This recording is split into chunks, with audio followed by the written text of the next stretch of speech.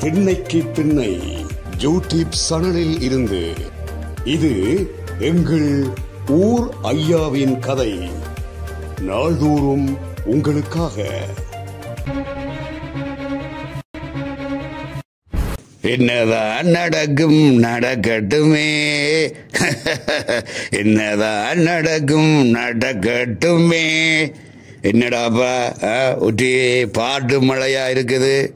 கடந்த பல நாட்களாக பாட்டோட வாரையர் பாட்டோட வாரையர் என்று நீங்க பாக்குறது என்ன பார்க்கறது? எனக்கு விளங்குதப்பா விளங்குதப்பா.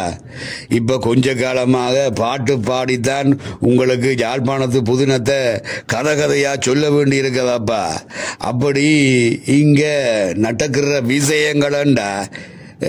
காதும் காதும் பச்ச மாதிரி இவ்வையல் ஒருத்தருக்கும் தெரியாதுண்டு நினைச்சு போட்டு செய்யணும் அது எந்த காதுக்கு வந்தா நான் சும்மா இருப்பேனா?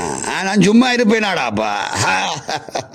நான் சொல்லி போட்டு தான் போவேன். அதுக்கு தான் என்னதான் நடக்கும் நடக்கட்டுமே என்று அங்காள வார வரிகள் உங்களுக்கு தெரியும் தானே? ம் சரிதானே? அப்போ இன்றைக்கு யாழ்ப்பாணத்தில் முக்கியமான ஒரு கதையை செய்தியை கதையாக சொல்ல போகிறேன் படிவாக்க கோணும். அதுக்கு முன்பாக எங்களோட இந்த புங்கையூராண்ட செல்லா சிட்னி யூடியூப் சேனலை ஷேர் பண்ணுங்க லைக் பண்ணுங்க சப்ஸ்கிரைப் பண்ணுங்க. ஆ, பக்கத்தில் இருக்கிற பெல் பட்டனை கிளிக் பண்ண மறக்காதீங்கப்பா. நீங்க எல்லாம் செய்கிறது எனக்கு விளங்கும். என்றாலும் புதிய நேர்களுக்காக நான் இப்படி சொல்லி கொண்டு போறேன். சரிதானே? ஆ சரி. இன்றைக்கு சங்கதிக்கு வாரன். ஒரே பள்ளிக்கூடத்தில் கதைகளை தான் கதைக்கணும்னு நீங்கள் கோவிக்க கூடாது யோசிக்க கூடாது எந்த விஷயம் வந்தாலும். அதை முன்னுக்கு சொல்றதுதான் இந்த நோக்கம் அப்பா அந்த வகையில் இன்றைக்கும் பள்ளிக்கூட விஷயம் உண்ட பற்றித்தான் சொல்லணும்.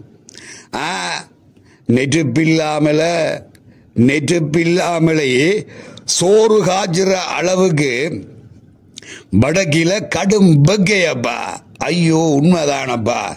நான் படுற பாடு இருக்கே. ஐயோ ஐயோ ஐயோ.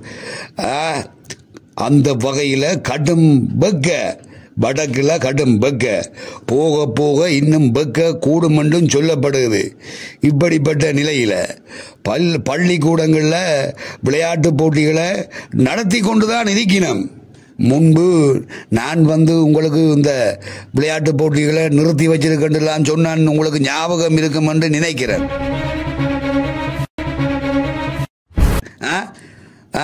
கல்வி அமைச்சால இடைநிறுத்தப்பட்டிருக்கு. சித்திரை மாசம் எல்லாம் முடிஞ்ச பிறகு விளையாட்டு போட்டியை நடத்தலாம் என்று கல்வி அமைச்சு சொல்லியிருக்கின்ற எல்லாம் நான் வந்து சொன்ன நான் உங்களுக்கு விளங்கும் என்று நான் நினைக்கிறேன். நான் நினைக்கிறேன் உங்களுக்கு விளங்கும் என்று.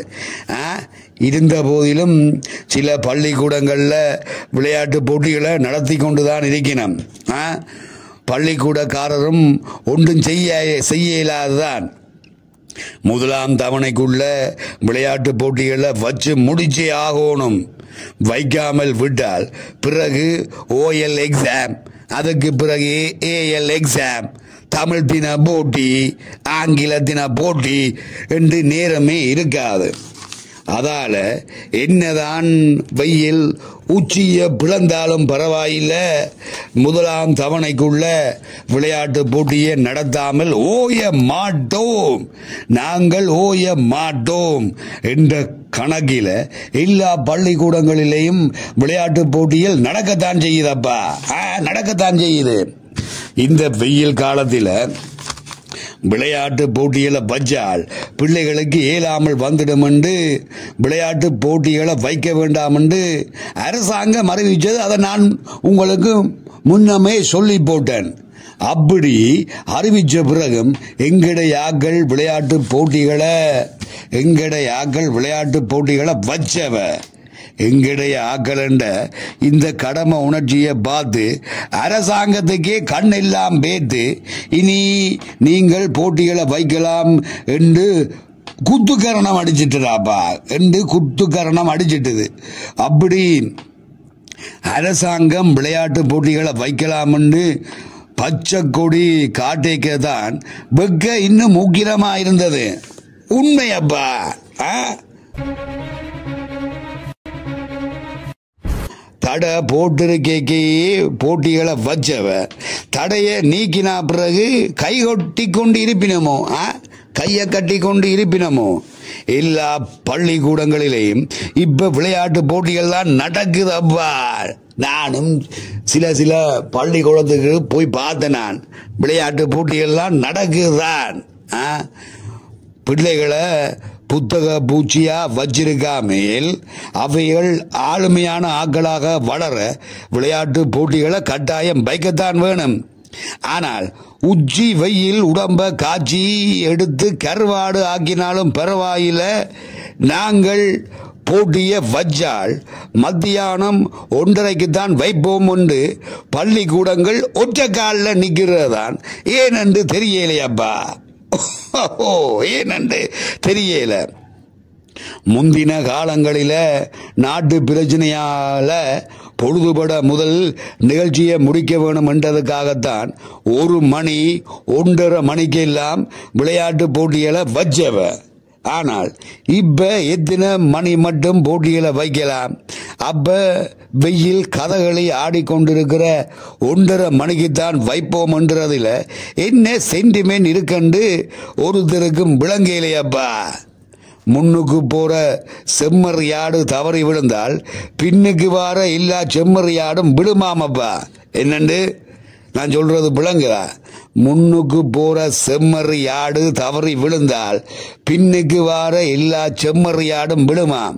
அதே மாதிரி இவைகளும் முந்தின காலத்தில் ஒன்றரை மணிக்கு விளையாட்டு போட்டிகளை வச்சால் தாங்களும் அதே சுப முகூர்த்த நேரத்தில் தான் வைப்போம் என்று நிக்கணுமோ தெரியலையப்பா எனக்கு. ஆ விடிய காலமையில் இல்லாட்டி வெயில் தணிஞ்ச பிறகு பின்னேரத்தில் இருந்தாலும் விளையாட்டு போட்டியை வச்சால் ஏதும் தெய்வ குற்றமாகி போயிடுமோ? ஆ? என்றுதான் நான் நினைக்கிறேன். ஆரும் விஷயம் தெரிஞ்சவ சொல்லுங்கோவேன் நான் இப்ப உங்கள்கிட்டயே கேட்கிறேன் ஆரும் விஷயம் தெரிஞ்சவையில் சொல்லுங்கோவேன் அப்பா எனக்கு. சொல்றீங்களா? இல்ல சொல்றீங்களான்னு தான் நான் கேட்கிறேன் உங்கள்கிட்ட இப்படித்தான். இந்த பள்ளிக்கூட விளையாட்டு போட்டிகள்லாம் போகுதப்பா. பாவம் பிள்ளைகள். வெயில்ல நில்லு நில்லண்டு நின்று காஞ்சி கருவாடாக போகுதுகள் என்று நினைக்கத்தான். காஞ்சி கருவாடாக போறது மட்டுமில்லை. அந்த வெயில நின்று எத்தனையோ பிள்ளைகள் அப்படியே மயங்கி விழுந்த காலங்களும் நேரங்களும் இருக்குதப்பா. இத நான் சொன்னா நான் ஒரு குற்றவாளி என்று தான் இவையில் பாப்பினம். அதுக்காகத்தான் நான் பரேகிலேயே. எனக்கும் இதுக்கும் சம்பந்தம் இல்லைன்ற மாதிரி என்னதான் நடக்கும் நடக்கட்டுமே. என்னதான் நடக்கும் நடக்கட்டுமே பள்ளிக்கூடத்தில் விளையாட்டு போட்டிகள் வெயிலுக்குள்ள நடக்கட்டுமே என்று நான் பாடி போட்டே வந்துட்டேன். என்னில ஒரு குற்றமும் ஒரு பிழையும் கண்டுகொள்ளக்கூடாதுண்டு. சரி சரி. நான் போயிட்டு வர போறேன். ஒவ்வொரு நாளும் உங்களுக்கு எங்கட இந்த புங்கையூராண்ட சில்லா சிட்னி யூடியூப் சேனலில் வந்து யாழ்ப்பாணத்தின் உண்மை நிலவரங்களை நான் அறிஞ்சு உங்களுக்கு நான் ஒவ்வொரு நாளும் சொல்கிறேன் நான். நீங்களும் கேட்டுக்கொண்டிருக்கிறீர்கள். கேட்டு கேட்டு எனக்கும் கடிதங்களை அனுப்பி கொண்டிருக்கிறீர்கள்.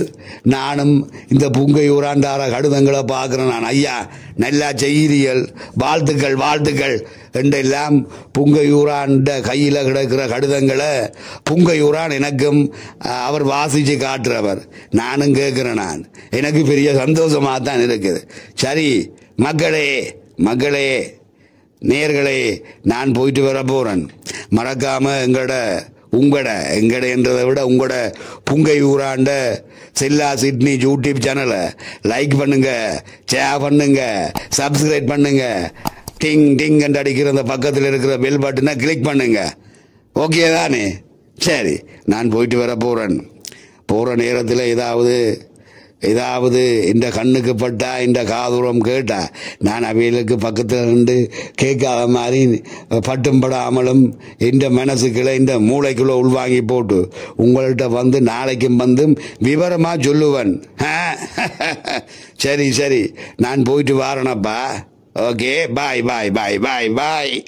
அன்புக்குரியனே சொந்தங்களே இந்த வீடியோ பிடிச்சிருந்தா லைக் பண்ணுங்க கமெண்ட் பண்ணுங்க சப்ஸ்கிரைப் பண்ணுங்க.